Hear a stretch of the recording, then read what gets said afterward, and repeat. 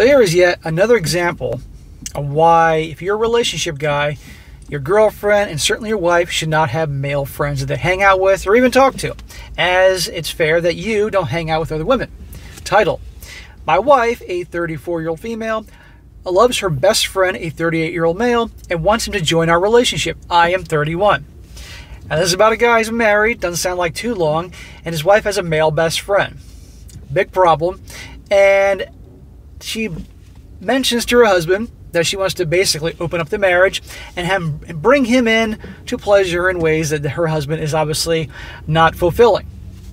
And this guy, as you can imagine, is just blindsided and shocked by this. Not that any of us are nowadays. And he's wondering what to do. Now, instantly he took off, as you're going to see, but now she's been bombarding him with phone calls and messages. But he's just so shocked by this whole thing. He's like, what the hell do I do here? Says here, a uh, long-time reader, first-time poster on Reddit. I'm not sure what to do. As the title says, my wife wants to add her best friend to our relationship. And that means the relationship is over. No ifs, ands, or buts. And if she ain't cheating already, I guarantee you she will be soon enough. I'm 31 years old, my wife is 34. Her best friend is a 38 year old male. Smack! That's one smack for marrying an older woman. And the other smack, well, he'll get another smack, is for allowing your wife to have a best friend that's a man. You are the number one man in her life. That is it. No, there's no room for any other men. No best friends, none of that bullshit. Only leads to trouble. We just moved to her home state, which I do not know very many people. Wife had introduced me to her family and friends that she grew up with. Most of them are amazing. But when she introduced me to her best friend, I noticed a connection between them.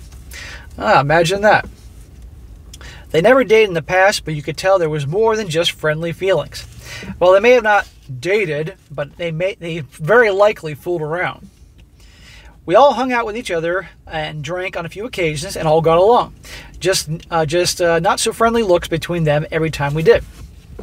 Uh, a few months go by and my wife started to get secretive with her phone. It's always about the phone. Closes out Snapchat when I come near her and changed her lock code. He says, No, I did not try snooping. My phone was dead and was using hers to call a friend of mine. Enough of the backstory. Well, last night she asked me if I was okay if she was shared. Really? He comes home from work. How was your day? Great. Oh, by the way, I want to talk to you. Do you mind if I, if I you share me? Confused by the question, I asked, "What did you What did you say?" She repeated herself while kissing on me. We've never done anything like that in our eight years of being together. I told her I would have to think about it. Smack dude, really? Think about it. There's a reason why she's pulling this shit because obviously her perception of you is that you're weak. And by you just saying I have to think about it tells me a lot I need to know. No, bro, self respect. I asked her if I were to share her, did she have someone in mind? She then told me that D, her best friend, I got jealous and angry. I started to bombard her with questions when she got quiet and didn't answer them. Well, the reason she didn't answer the questions is because you obviously hit the nail on the head with your questions. Most of them being if she wanted to be with him instead of me. Or did you want a three something or a whole relationship? She didn't answer, which led me to believe she wanted more than just a hookup. That was the last night. I left the house and turned off my phone. Good for him. He at least handled that part right. I drove around for three hours and eventually passed out in the car at a rest stop just out of town. Once I turned my phone back on, I had 32 missed calls and over 100 messages and Facebook Messenger messages. Well, she's panicking. I haven't been home yet due to working today. I just don't know what to do. What should I do? Leave my wife or let my best friend in our relationship? Smack. And he meant not best friend, her best friend. Dude, it's over. I'm sorry that you're going through this. I'm sorry going through the pain. She obviously doesn't love you because if she did, she wouldn't want anybody else touching her but you. And certainly in this open relationship situation, you with another woman, although she didn't mention that part. That clearly something's been going on with this guy for a while, going back way before you probably even knew her, you know? They probably never dated, but he was just somebody that she fooled around with and all that. In fact, probably what the case was, he was not the relationship type, but she was always attracted him to fool around with. Married this guy, no doubt, because he was the relationship guy, the the guy you settled with.